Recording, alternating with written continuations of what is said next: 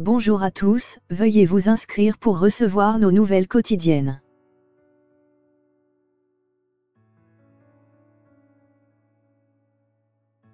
Ben Arfa, un jour, Rabiot reviendra avec une équipe et il leur fera mal aussi.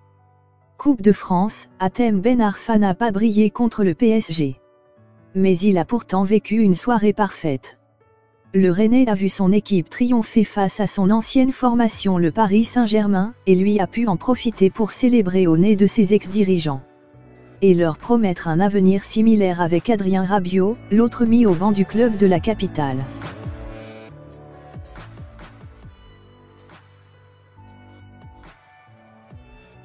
À croire qu'il n'attendait que ça. Pour la troisième fois de la saison, les regards de ce match Rennes, PSG étaient forcément un peu braqués sur Atem Ben Arfa. Le meneur de jeu du SRFC pouvait être le vengeur masqué de cette finale face au club qu'il avait mis au placard toute la saison dernière. S'il n'a pas ébloui par sa prestation sur le pré, la victoire du Stade Rennais laissait présager d'un après-match savoureux pour HBA comme le goût de ce karma fatal au Paris Saint-Germain, samedi soir, au Stade de France.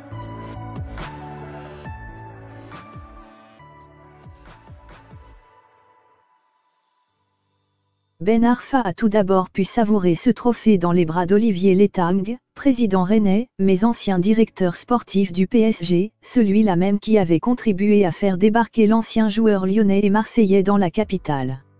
Le premier acte de la revanche.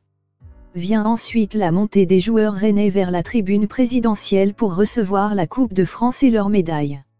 S'y tient Nasser Al-Khelaifi, le patron des vaincus. Alors que Ben Arfa s'approche pour lui serrer la main, le président du Paris Saint-Germain détourne le regard, jusqu'à saluer son ancien puni. L'échange semble froid, tout au plus. Mais le Rennais, lui, est déjà à température au moment de soulever le trophée.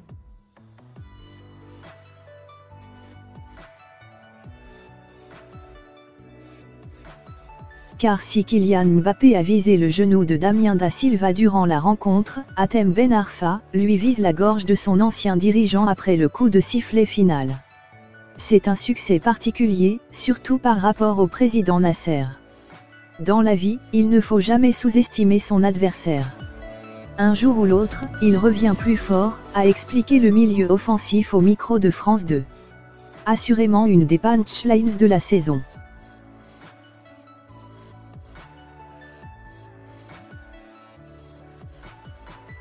Ben Arfa peut aller célébrer avec ses coéquipiers et prolonger la fête. La vengeance est un plat qui se mange ardent. Et l'international français est du genre à souffler sur les braises. Sur le bord de la pelouse, ce n'était presque que l'apéritif. Le plat de résistance vient en zone mixte, où l'attendent de nombreux micros et caméras. Le show peut se poursuivre. Le milieu de terrain explique tout d'abord son émotion une fois le résultat acquis, la breloque autour du cou. J'ai pleuré parce que c'était trop fort. L'émotion est montée, tout est remonté.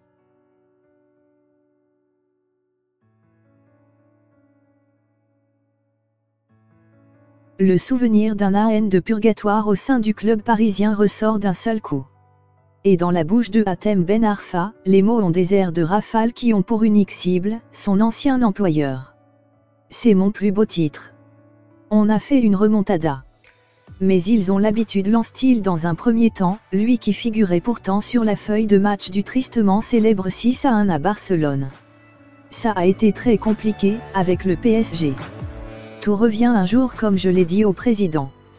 Il faut respecter l'humain. Quand tu ne respectes pas l'humain, à un moment donné, tu le paies. Un jour, Adrien Rabiot reviendra avec une équipe et il leur fera mal aussi parce que c'est la vie. Quand tu donnes le mauvais, tu reçois le mauvais.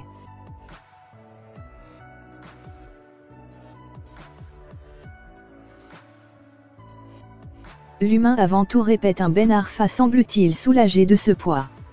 Et qui envoie sa dernière salve en assurant que toute cette rage froide en lui n'est pas destinée contre le club lui-même, mais contre ceux qui le représentent.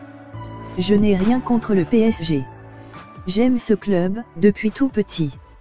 Je parle de l'institution, des personnes qui dirigent. Encore une fois, il faut respecter l'humain. Qui sème le vent récolte la tempête, comme le dit l'adage. Pas de doute, Paris et Nasser Al-Khelaifi se sont bien fait souffler dans les bronches.